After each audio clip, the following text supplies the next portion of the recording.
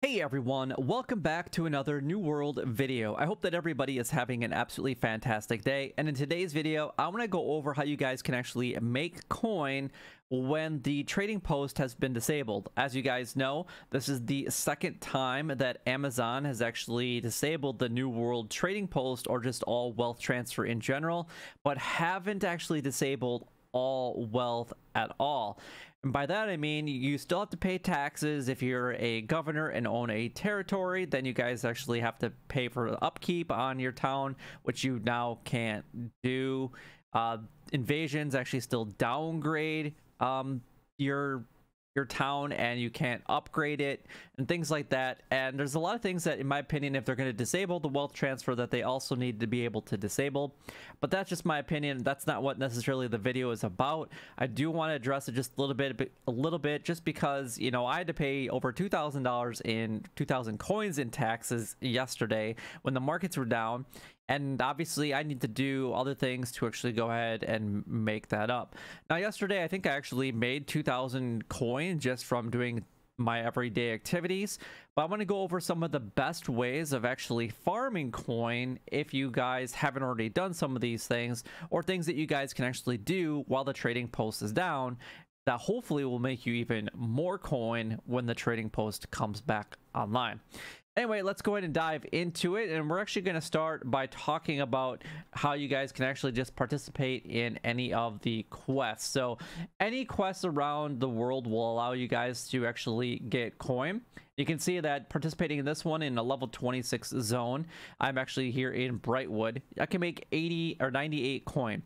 It's not the best it's not the worst but it is coin that you guys could make. Even if you're not selling anything at the trading post at least this is coin that you guys can at least make to start working on other things whether it's to work worry about like the uh, the taxes that are in the towns in your refinery that you guys are participating in and all of those other things as well now, the other thing that you guys can actually do is you can really just focus on your trade skills because this is where a lot of the money making will happen when you guys start getting up to that close to that 200 level in a lot of different things.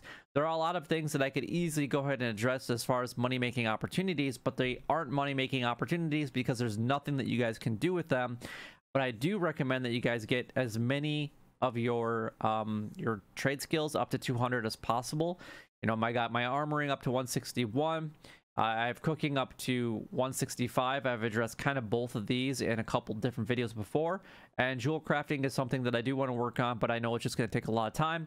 And I've been on the hunt for a lot of different jewels right now by just opening up a ton of chests, going after any ore veins that I can, whether they're iron, star metal, doesn't matter, uh, platinum, orichalcum, whatever, just to get as many jewels as possible.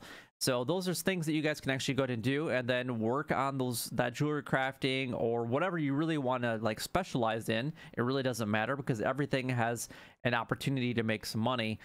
But um, there are ones that are a little bit better than others, and I think that the one there's a couple things that are only going to be like one-time purchases, and then people are going to be kind of done now, the other thing that you guys can obviously do is work on all the refinery and gathering. Uh, this will actually help you eventually make more money in the long in the long run. And I've been working on my logging and my woodworking at the exact same time because they pretty much do go hand in hand. And then any times that I, I do find jewels from my mining that I'm doing or just anything in general, I've been stone cutting them as best as I possibly can. And I've gone up and just, just in the last couple of days, probably like 15 levels from just focusing on cutting gems, which eventually I'll be able to use those gems to do more jewel crafting, which is fantastic. Now, as far as like money itself, you guys, uh, what I've actually done, believe it or not, is taking my level 60 and going into just lower level areas that have dense mob populations. So an example of this would be pretty much any farm location, you know, on the on the map, whether it's here or there, other you know there are places that are going to be better than others like there's a couple farms down here in um Windsward that have just a ton of mobs and not every mob that you kill you're going to get coin, but you will get something out of it. Now, higher level mobs will give you more coin that you guys will earn, but obviously it's going to be a little bit more difficult of a challenge. Now, as a level 60, I can one shot, um, even with my bow, up to a, like level 45 Um, I can just one shot them and be done. And, you know, I can make up to 10 coins just for getting a kill. And I've been actually helping a friend that's not a level 60 do some of the request. And that's actually one of the ways that I've been able to just make coin by helping them in the process. Because obviously, I've already done the quests because they're doing some of their main storyline but I can help them in areas that might be a little bit more difficult for them and make some more coin off of it. Now, another thing that you guys can participate in is the portals. Obviously, the higher level the portal, portal, the higher amount of gold or coin that you guys will make. But you also make Azoth from this. You actually get a couple rewards, and then hopefully you can refine those those uh, things that you guys need, like the fragments and stuff, into more tuning orbs, which will hopefully make you guys more money as well.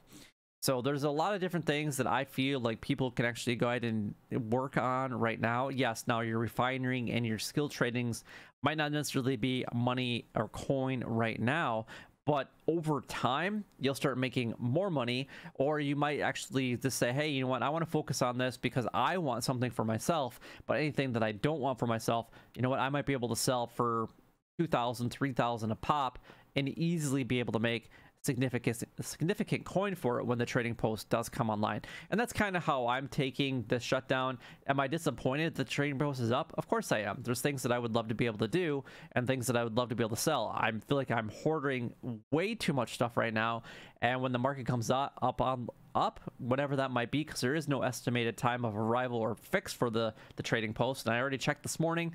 There is nothing, nothing on the forums, nothing that has even has a remote of what's going. I mean, we know what's going on, but we don't know the the more specifics about it.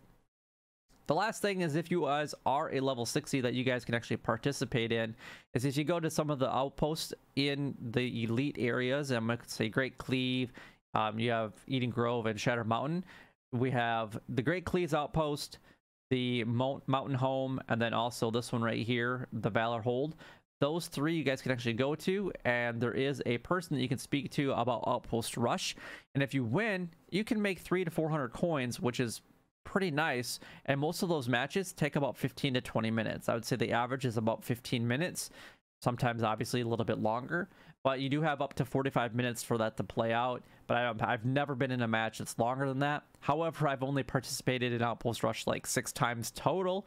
So that's on a very selected and few different uh, battles that I could actually say that I've been a part of. But the shortest game that I've been a part of was actually less than 10 minutes. Believe it or not, it was a domination of our team against their teams and easily able to make over 300 coin just in under 10 minutes without having a trading post make those those money. Hopefully some of this information helps you guys out and things that you guys can do to hopefully just kind of be prepared for when the trading post does come back up and make a little bit of more coin along the way just from doing things day to day here in new world. But if you guys enjoyed the video make sure that you guys go ahead and like comment and subscribe down below. It would help me out a lot and it's greatly appreciated.